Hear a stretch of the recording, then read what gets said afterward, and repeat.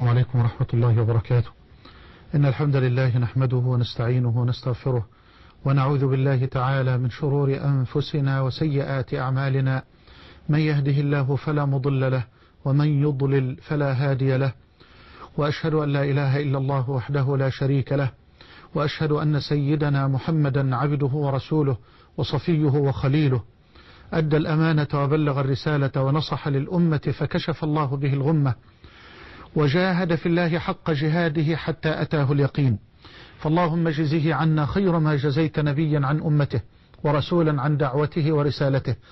وصل اللهم وسلم وزد وبارك عليه وعلى آله وأصحابه وأحبابه وأتباعه.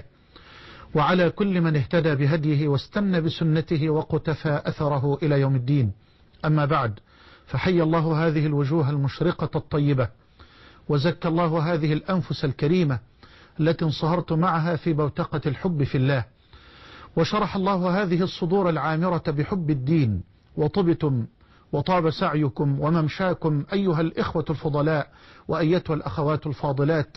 وتبوأتم جميعا من الجنة منزلا. وأسأل الله جل وعلا الذي جمعني مع حضراتكم في هذه الساعة المباركة على طاعته أن يجمعنا في الآخرة مع سيد الدعاة المصطفى في جنته ودار كرامته. إنه ولي ذلك والقادر عليه. أحبتي في الله أحداث النهاية. سلسلة تجمع بين التأصيل العلمي والمنهج التربوي والأسلوب الدعوي. أقدمها لأمة الحبيبة في زمن طغت فيه الماديات والشهوات وانشغل فيه كثير من الخلق عما هو آت وانحرف فيه كثير من الناس عن منهج رب الأرض والسماوات. وظن كثير منهم أن الحياة تنتهي بالموت وتناسى هؤلاء أنهم سيعرضون حتما على رب الأرض والسماء للسؤال عن القليل والكثير وعن الصغير والكبير. قال سبحانه ونضع الموازين القسط ليوم القيامة فلا تظلم نفس شيئا. وإن كان مثقال حبة من خردل أتينا بها وكفى بنا حاسبين. لا أقدمها إلا من أجل أن نحيي بها سويا الحياة. إلا من أجل أن نشخص الداء. إلا من أجل أن نحدد سويا الدواء. لنجدد المسيرة ولنجدد التوبة والأوبة. وأسأل الله سبحانه وتعالى أن يجعلنا جميعا ممن يستمعون القول فيتبعون أحسنه. أولئك الذين هداهم الله وأولئك هم أولو الألباب. لازلت أيها الأفاضل أتحدث عن العلامات الصغرى للساعة. وما من علامة ذكرها الصادق الذي لا ينطق عن الهوى إلا ووقعت بمثل ما أخبر صلى الله عليه وآله وسلم. كنت أتحدث بالأمس مع حضراتكم في هذا الحديث الذي راه الإمام أحمد في مسنده والحاكم في مستدركه بسند صحيح من حديث عبد الله بن مسعود رضي الله عنه أن النبي صلى الله عليه وآله وسلم قال بين يدي الساعة تسليم الخاصة. يعني لا يسلم الأخ إلا على أخيه الذي يعرفه حتى ولو كان معه في مسجد واحد. ولا حول ولا قوة إلا بالله. فما ظنك بهذا الواقع خارج بيوت الله جل وعلا؟ بين يدي الساعة تسليم الخاصة وفشو أي وكثرة التجارة حتى تشارك المرأة زوجها في التجارة. وقلت التجارة ليست حراما اطلاقا أبدا تاجر. لكن تاجر بأمانة وتاجر بشرف وتاجر بالحلال وفي الحلال ولا تنسى حق الكبير المتعال. الرسول صلى الله عليه وآله وسلم لا يخشى على أمته من الفقر. كما في الصحيحين من حديث عمرو بن عوف الأنصاري رضي الله عنه. قال الحبيب والله ما الفقر أخشى عليكم. يا الله والله ما الفقر أخشى عليكم ولكن أخشى أن تبسط عليكم الدنيا. كما بسطت على من كان قبلكم فتنافسوها. كما تنافسوها فتهلككم كما أهلكتهم. فتهلككم كما أهلكتهم.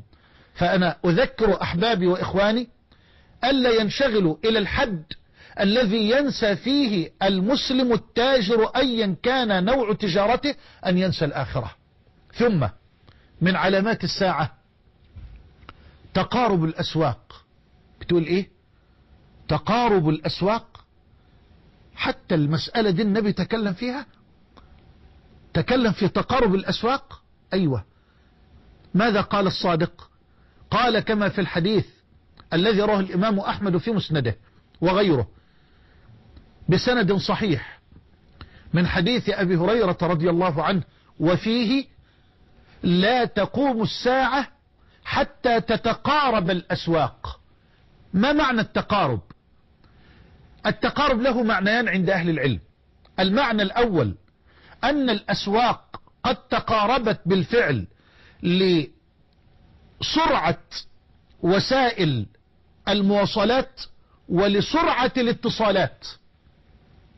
تستطيع الآن بفضل الله أن تركب سيارتك وأن تذهب إلى أي سوق في قريتك أو في مدينتك أو في مركزك أو حتى في دولتك وأن تعود في نفس اليوم تقريبا مع أن هذا السفر كان قبل ذلك يقطع فيه الإنسان شهورا طويلة.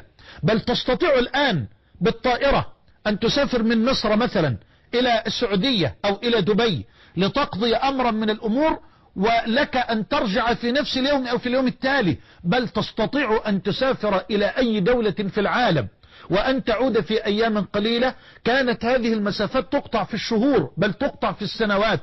هكذا تقاربت الأسواق. ثم البورصة. البورصة العالمية الآن تستطيع أن تتعرف على سعر السلع أو على سعر العملات تقريبا في كل ساعة أو أقل. انظر إلى هذا التقارب. التقارب في الأسواق تقارب في معرفة الأسعار. التقارب الحسي الحقيقي.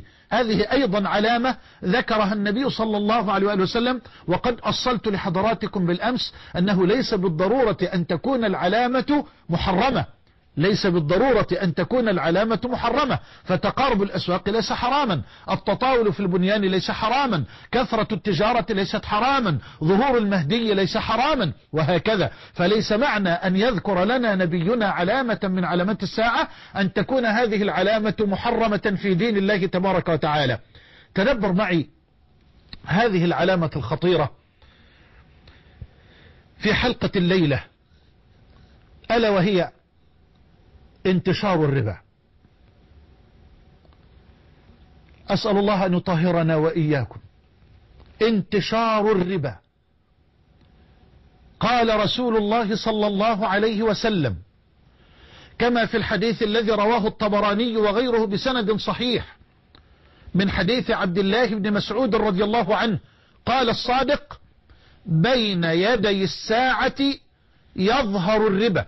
والظهور هنا بمعنى الكثرة بمعنى الانتشار بين يدي الساعة يظهر الربا ولا حول ولا قوة إلا بالله.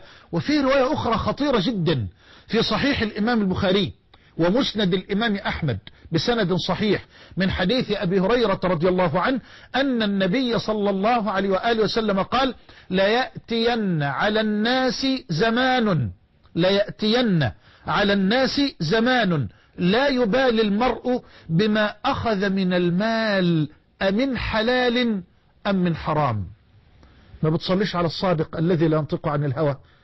ده واقع خطير جدا. واقع خطير جدا. حاضر حاضر. عاوز تسمع الحديث ثاني؟ اسمع ماذا قال الصادق. أقول الحديث رواه البخاري في صحيحه وأحمد في مسنده بسند صحيح. من حديث أبي هريرة رضي الله عنه أن الصادق صلى الله عليه وسلم قال ليأتين على الناس زمان لا يبالي